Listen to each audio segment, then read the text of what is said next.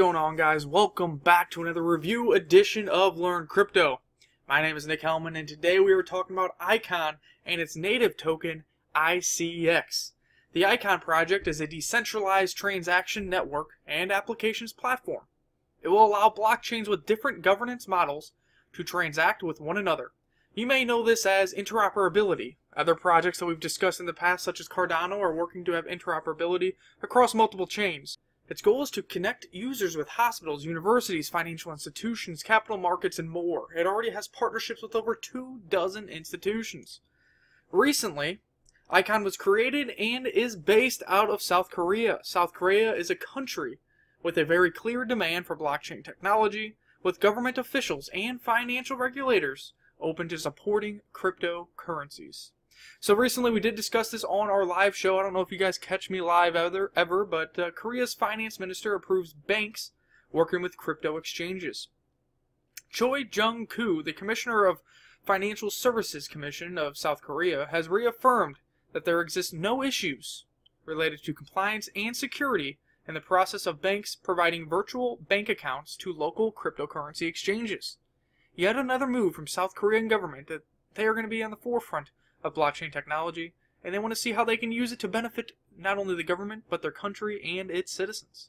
In South Korea, crypto exchanges employ a unique system called virtual bank accounts that enable users to deposit and withdraw the South Korean won instantly so that users can hold KRW on exchanges securely. Bithumb, Upbit, GoPax, Korbit, CoinOne, and other large cryptocurrency exchanges have also recently been approved by the government of South Korea for having sufficient security measures and internal management systems in place. So why does it what does this have to do with an icon review? Well, like I said, Icon is based out of South Korea and is working with some government partnerships that we'll talk here shortly. On top of that, Icon is available, Icon, ICX at least, is available on many of the exchanges I just named.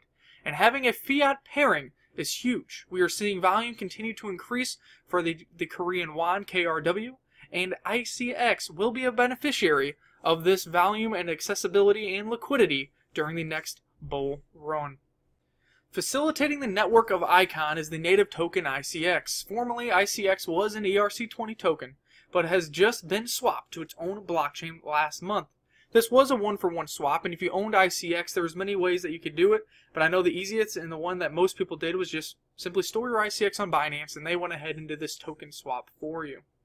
ICX tokens are utility tokens required to use and participate in the ICON network and its growing ecosystem. Thus, the value of the ICX tokens is directly correlated to the utilization and the value of the ICON network.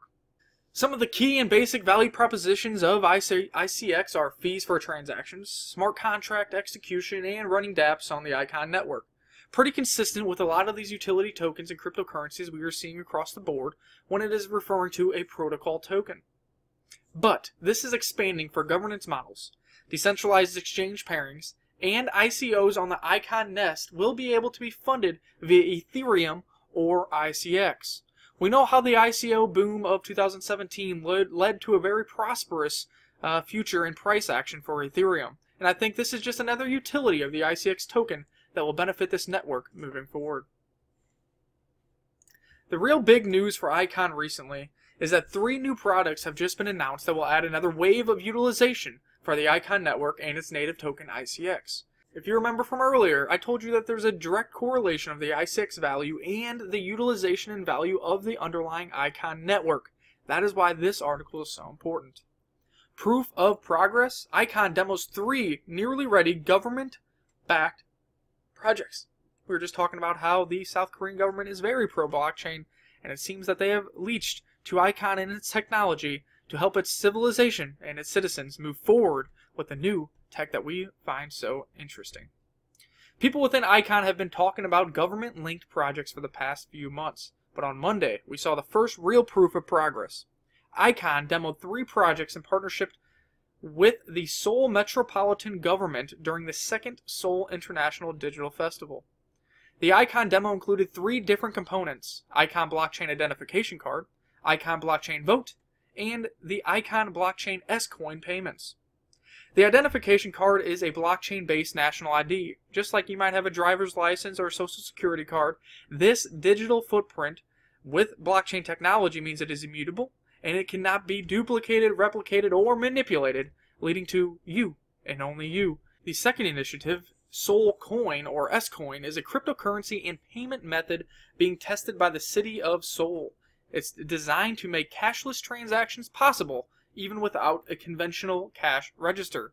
Now, you might be asking, well, that's not the ICX token. That's bringing value proposition to a whole new cryptocurrency.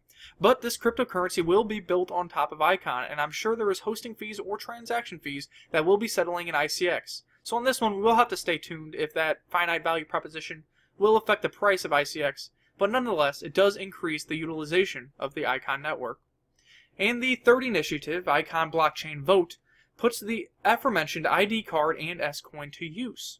The ID serves as a unique identifier, making secure online voting possible, while also eliminating the double spend problem that has made public officials shy away from online ballots. After voting, citizens receive rewards in S-Coin. The monetary incentive, along with the ability to vote remotely, has the potential to increase South Korea's average voter turnout. This is also a way that we can kind of get around some of the fraud that happens even in in-person voting booths where people are getting to vote multiple times or voting via some somebody in their family who's passed away. Now you have one set identification card that is tracked via the blockchain which only can have one vote per candidate or per race that is going on for the giving time. Many projects that boast much larger market caps are quite behind in terms of enterprise adoption and only a handful of them have attained the level of institutional backing that ICON has. Now remember that ICON is the actual network, or think of it as the business, while ICX is the utility token that helps run everything that this business or blockchain partners with or runs on their network.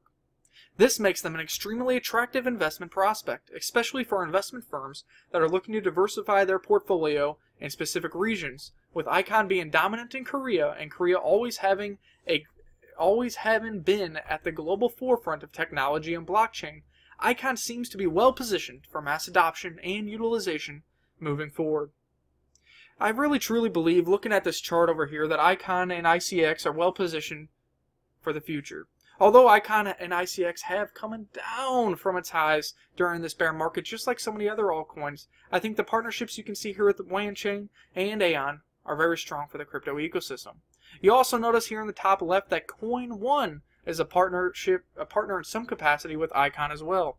Coin One is an up and coming exchange that is increasing volume by the day, and with the recent acceptance of government approval, is seeing KRW pairs explode. I think ICX is well positioned here in this marketplace as well. Overall, I like Icon and I like its utility, utility token ICX. I really like Wanchain and Aion as well. I think that trifecta of partnerships is going to create great utility and great utilization moving forward. Let me know what you think about ICX in the description below. Are we in some of the same agreement? Are we not in the same agreement? And if you are a Patreon member, you will be viewing this video first, but also this will be accompanied by a technical analysis from Todd Butterfield.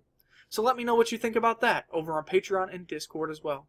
Until next time, guys, stay tuned for your daily updates on cryptocurrencies right here at Learn Crypto.